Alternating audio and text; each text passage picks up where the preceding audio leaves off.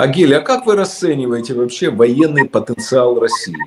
Они наращивают его, они вверх идут или стоят, или падают? Надо, это комплексный вопрос, Дмитрий. Тут надо э, смотреть, как бы рассматривать все, скажем, возможности давайте по боевой технике рассмотрим, возможности по огневым средствам поражения рассмотрим, живую силу рассмотрим, а потом придем к общему как бы знаменателю. По боевой технике стабильно. Они не могут восполнять те боевые потери, которые вы им наносите в течение месяца. Тут их возможности будут падать. Э, независимые очень-то аналитики снимали склады хранения, там еще, еще 3-4 месяца там ничего не останется. А производство... То есть они не могут восполнять потери в технике ежемесячно так, да? На, пока плюс-минус могут, но эти склады же истощаются. Еще три месяца, еще, скажем, пять месяцев, и эти склады истощатся. У них сейчас очень большая проблема с боевыми машинами пехоты. БМП-1, БМП-2, БМП-3. Вот сейчас у них дефицит, уже он начался. Да. А давайте перейдем к средствам огневого поражения.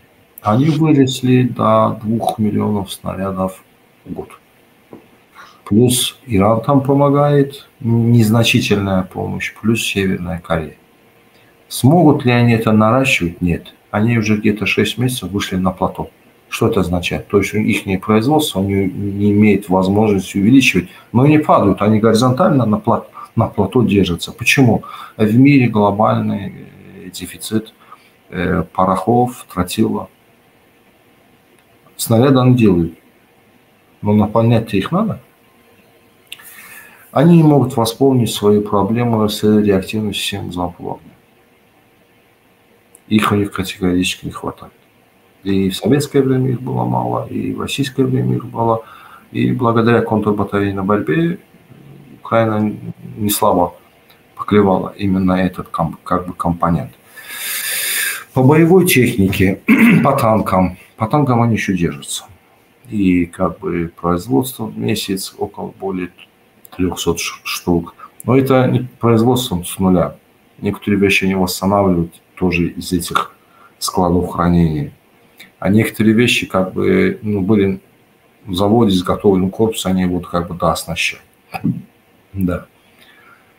Но тоже тут у них нет возможности этого нарастить.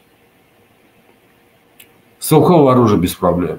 Стрелковое оружие можно на миллионную армию как бы приготовить. Это автоматы, пулеметы, э, их патроны к ним. Людской ресурс. Людской ресурс, я тоже понимаю. Я думаю, что вы знаете, что людской ресурс тоже не проблема. Для них, конечно, нет. Да, да. Людской ресурс тоже не проблема.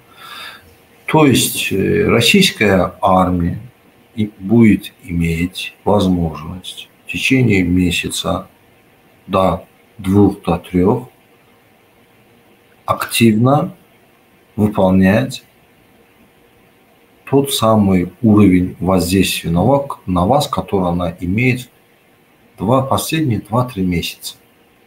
Роста не будет. Если даже они мобилизуют дополнительно 100 тысяч человек, это, это мотострелки, это люди с автоматом. Для них нет средств ПВО. Кстати, ПВО вы очень сильно истощаете, я забыл это указать ни одна страна в мире не потянет, чтобы каждый день отстреливать по 40, по 50 ракет ПВО. Цикл производства очень долгий. Танки то же самое, артиллерия то же самое, а у них практически не осталось советского задела артиллерии. Вот я видел снимки, э, были две, две, два база хранения Советского Союза, там не осталось ни одной пушки. Я имею в виду, это вот как бы пушки старого образца, Д-30, Д-20. После 2010 года буксируемые пушки Россия не делает. Да. Ну, по самоходно-артиллерийской установке у них какой-то рост есть, какой-то рост есть, но это тоже не критично. То есть я, я вижу, что какое-то время российская армия будет держать плато то есть она не будет проваливаться, но и не имеет возможности увеличить свои боевые возможности. Оно может увеличить количество э, солдатов, количество военнослужащих, но это не боевая единица. Солдаты же это как бы не первая, даже в Первую мировую войну были танки и пушки, но это же как бы уже прошлый век уже. Солдаты же просто так не воюют. Поэтому каких-либо кардинальных скачков э, роста боевых возможностей для российской армии я в данный момент не вижу. Сегодня э, другая война, война дронов. А, и у кого дроны лучше, и у кого дроны перспективнее, те, в общем-то, и будут наверняка побеждать. Что вы думаете об украинских дронах и российских дронах? Я человек, который как бы с начала войны почти каждую передачу она кричал, что нужны дроны. Да. И Но... Азербайджан, кстати, показал это наглядно, да? Ну, ну, конечно, мы уже это использовали. Э, дело в том, что, знаете, Дмитрий, вот как бы для полноценной войны дронов еще нет полностью тех условий. Я дополню свой вопрос сначала тем ответом, что э, вы немножко увлеклись дроном. Вот вы как бы всю силу думаете, что вы будете отражать дронами, а так, это так не работает. У каждого средства поражения свое место и свой кусочек. Вот россияне танк сараем обвесили, ну, ПТРК пробивает, взрывается танку без разницы. 10 вы маленьких FPV дронов на него запускается, взрываются танку, потому что это догма. В оборонительной позиции должно быть заминировано. Ли есть дроны, нет дронов. Позиции должны быть заминированы. Да, вот поэтому как бы до полноценной войны дронов еще еще далеко. А что касается именно вашего ответа, вот в случае, как и с производством артиллерийских боеприпасов, три месяца россияне на плато. Они не могут увеличить, увеличить количество своих дронов. Над полем боя вы доминируете как по качеству, так и по количеству. Вот, э, россияне, тут, скажем, метод это не освоили. Используют FPV-дрон через ретранслятор. Почему? Вот что это означает? FPV-дрон э, имеет дальность э, действия от антенны. Это 10 километров. А вы что делаете? Вы эту антенну цепляете на другой большой дрон, вы ее поднимаете на, скажем, на 100-200 метров, и дальность действия FPV-дрона увеличивается на 30 километров. То есть разработали различные, как бы, но это касается тактических дронов. Вот, вот из-за ланцетов они могут воздействовать на большую глубину, до, до 100 километров, да, ну, как бы и, и хаймерсы они доставали этими ланцетами. То есть э, вот тактически глубина на вас, вы тут доминируете. Из-за того, что у вас пока нет аналога ланцета, россияне сильны на расстоянии вот как бы 30 километров э, до 80 километров. Это максимальная как бы дальность, куда залетали ланцеты. Но и опять-таки они могут их применять 10, 10 ланцетов в день. Это максимальные их возможности. Получается в месяц 300. Они 400, не 4 месяца не могут увеличить производство ланцетов. И это фиксировано 4 месяца. А у вас, как бы, у вас рост по всем показателям. Плюс, плюс то, что вы взаимод... начали активно взаимодействовать с странами, ведущими странами по оборонке, таким как Rheinmetall, Biosystems – которые им, им сейчас, э, они сами активно сотрудничают, чтобы, скажем, научить дрон чему-то, скажем, машинному зрению или вот какое-то что-то вот проверить в бою. Вот, скажем, немцы сейчас э, снаряд, который они модернизировали на расстоянии 100 километров, сейчас они передали вам прототип. Вот сейчас вы испытаете, все окей, немцы поймут хорошие, плохие стороны и то есть у вас больше возможностей в эволюции, модернизации этого оружия. У вас больше. У вас нет проблем с санкциями, у вас нет проблем доступа к технологиям. А у россиян с этим, конечно, намного тяжелее. Что такое британское лазерное оружие?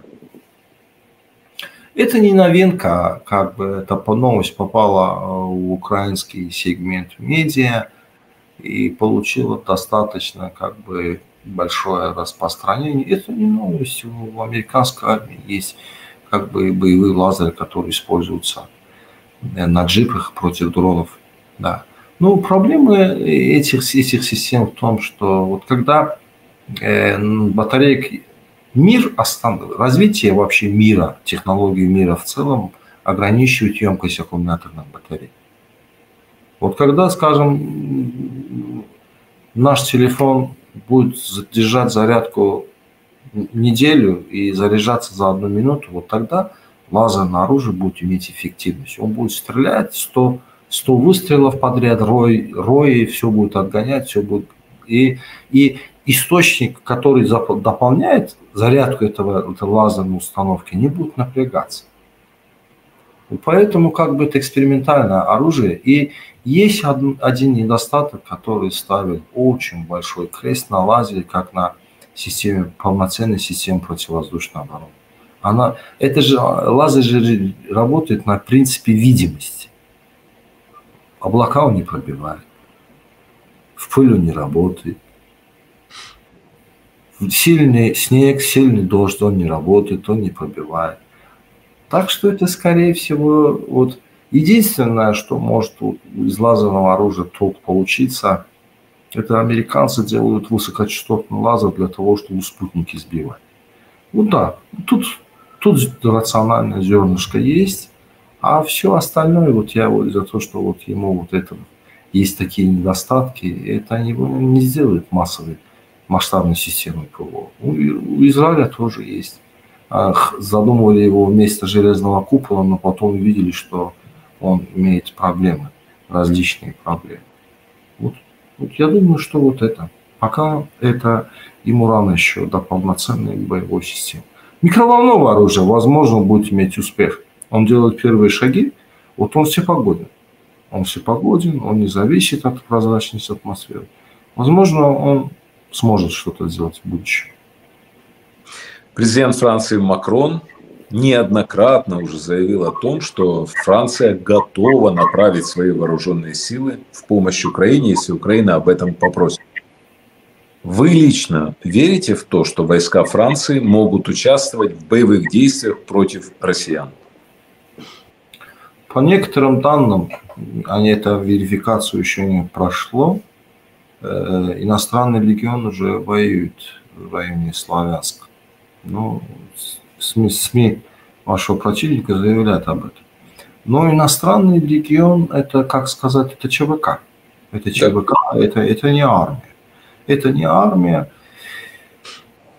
Но, знаете,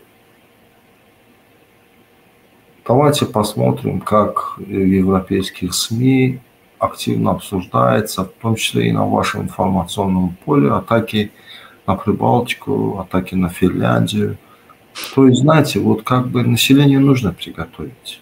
Евро, в Европе э, слово, мнение гражданина – это же весомо. Без, э, без его мнения, без э, мнения парламента очень трудно как будто как делать какой-то шаг. И вот это первичные шаги, чтобы общественность, чтобы люди, которые принимают решения, осознавали глубину проблем. Но что касается лично Макрона – Я хотел бы знать, что мешает Макрону стать второй страной по объему помощи Украине. Он владеет первым ОПК в Европе. После него ОПК – это у Германии. Германия по объему... Франция первая. Да, конечно, конечно. Французский mm-hmm. ОПК намного сильнее. Франция в одиночке истребитель делает. Рафаль. Угу. Вот что ему мешает по объему, совокупному объему военной помощи быть второй страной? Вот что ему мешает? Как вы думаете, сейчас Украине нужны тысяч изнеженных французов, которым на завтра булку надо давать на поле боя? Или Украина нуждается в 100 тысяч артиллерийских снарядов? Вот вы ответьте мне, пожалуйста, на этот вопрос. Я вам отвечу. Украина нуждается в французской авиации, на мой взгляд. Я не военный эксперт. Мне кажется, исходя из того, что я знаю, Украина нуждается во французской авиации, которая будет взлетать с французских аэродромов и даже не пересекая границу с Украиной, фигачить русских на русской территории. Не, ну это как бы, это нужно политическое решение, это нужно, вот, чтобы НАТО объявило войну России. А Макрон лично не может решить этот вопрос? Я думаю, что нет. Это очень сильный, смелый политический шаг, у которого есть очень много рисков. Я не думаю, что он это сделает. Ну, человек, который мог бы быть это сделать, он сделал давно увеличение помощи вам. Он не стал бы блокировать, давайте вспомним, 6 месяцев тому назад. Евросоюз, понимая, что он не вытягивает миллион снарядов для вас, это было время, когда вы кровоточили. Стали принимать решение, что давайте быстро деньги есть, закупаем у Турции, у Пакистана или у кого-то еще. Кто блокировал эту инициативу? Франция, Греция. После чего президент Чехии был вынужден отдельно собирать деньги и находить боеприпасы по всему миру. То есть человек, который блокирует помощь вам, пойдет на такой шаг, что будет воевать одиночку с Россией? Я так не думаю. Я так не думаю. И плюс, знаете, вот что э, Макрон строит из себя сильного лидера, которым он не является. Но вы лидер такой большой страны, и вы в понедельник заявляете, что вы будете перебрасывать войну в Украине, а в субботу вы говорите, что нужно восстановить отношения с Россией. Я... Перед вашими же глазами тоже, правильно? Нет? Это нормально? Дмитрий, это нормально? Дипломатия. Не, ну, дипломатию мы наблюдаем уже лет 20-30. Таких перевертышей я еще не видел. Ну. Я вас теперь про Эрдогана спрошу, раз да. уж мы по перевертышей говорим, да? Давайте, давайте. А, Турция а, в военном плане, ну, вторая страна в НАТО, мы это понимаем, турецкая армия, да? Почему Эрдоган ведет разговоры с Путиным? Почему он занимает такую позицию и Украине, как бы, и России, и Украине, и России? Скорее всего, он выступает в своих национальных интересах. Помощь Турции Украине и помощь Турции России – это несоизмеримые вещи. Может, кто-то забыл, вам за короткий период, во началом войны, было предоставлено 50 байрактаров ТБ-2. За больш... Если по моим данным, я могу ошибаться, за большинство еще не заплачено. А Россия Турция оружие передавала? У вас есть турецкие э, самоходно-артиллерийские установки. У вас есть турецкие боевые машины. 50 штук в одном пакете передавали морских пехотинцев. Большинство из них, по моим данным, шло как военная помощь. Просто из-за того, что Турция хочет держаться как бы вот нейтрально, и об этом, кстати, Турцию просит как человек, который в случае чего сможет наладить возможность переговорного процесса. Она об этом не объявляет. Как Франция после передачи 30-40 снарядов, Эрдоган об этом не кричит. У Эрдогана своя, своя стиль политики. Вот я могу сказать вот это. Хотя, конечно, я не политик, и как бы не совсем правильно, что я отвечаю на политические но надо понимать, что помощь Турции и Украине и переговорный процесс между Турцией и Россией – это совсем разный уровень помощи, взаимодействия и тому далее.